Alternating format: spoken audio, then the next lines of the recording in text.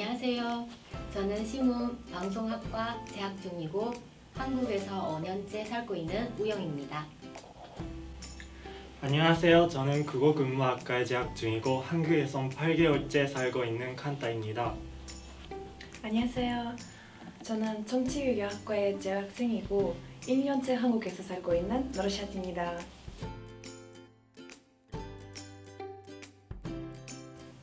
부경대학교에서 한국 어 학당 프로그램을 연수했어요. 아마 다들 들었을 거예요. 그치?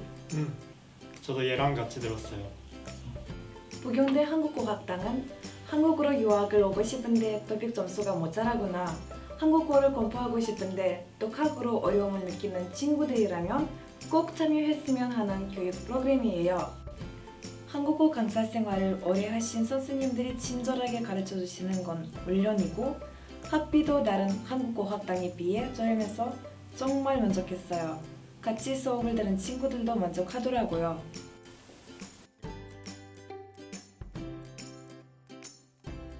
네, 처음엔 걱정했는데 아이프렌드 덕분에 쉽게 많은 친구들을 사귈 수 있었어요. 아이프렌드는 한국 학생들과 한국의 문화를 함께 즐기고 여러 추억을 쌓는 프로그램이에요. 아, 얼마 전에 아이프렌드에서 사귄 친구랑 학교 가까이에 있는 바다인 광안리에 다녀왔는데 너무 좁더라고요. 속이 뻥 뚫리는 기분이랄까. 그리고 근처 센텀시티에는 백화점이 두 개나 있어서 쇼핑하기도 좋아요. 맛있는 음식도 많아서 스트레스 풀기에는 여기가 짱이에요. 그리고 혹시 느끼셨나요? 우리 학교는 교통편이 좋아요. 버스도 많고 지하철도 가까워요. 그래서 부산 어디든 쉽게 갈 수 있답니다. 저는 아르바이트를 하고 있는데 학교 그쳐 아르바이트를 할 수 있는 곳이 많아서 금방 아르바이트를 구했어요. 저는 카페에서 아르바이트를 하는데 아르바이트를 하면서 한국 사람들을 많이 만나게 되고 자연스럽게 한국어가 늘었어요.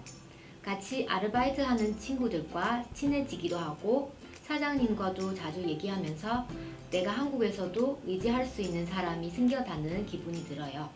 그리고 학교에서 유학생들을 기숙사에 우선 배정해주는 덕분에 어렵게 자취방을 구하지 않아도 되고 낮은 가격에 질 좋은 생활 공간을 얻을 수 있어서 너무 행복했어요. 그리고 우리 학교는 국립대학교다 보니까 아, 등록금이 싸서 또 다른 사립대학교를 다니는 친구들보다 부담이 덜한 것 같다. 음 맞아 맞아. 유학을 준비하시는 분들이 많이 고민하고 계실 거예요. 하지만 부경대를 선택하면 후회하지 않을 거예요. 국립대라는 믿음과 경제적 부담이 적다는 장점은 유학 생활을 오래 할수록 잘한 선택이라고 생각해요.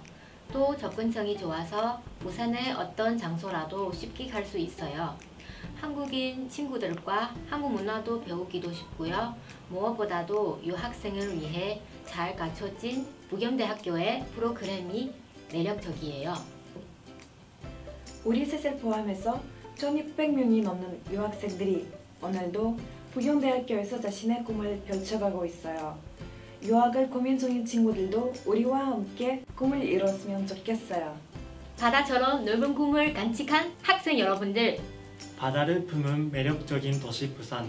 부산의 중심에 있는 국립부경대학교에서 그 꿈을 펼치시길 바랄게요. 부경대학교에서 만나요.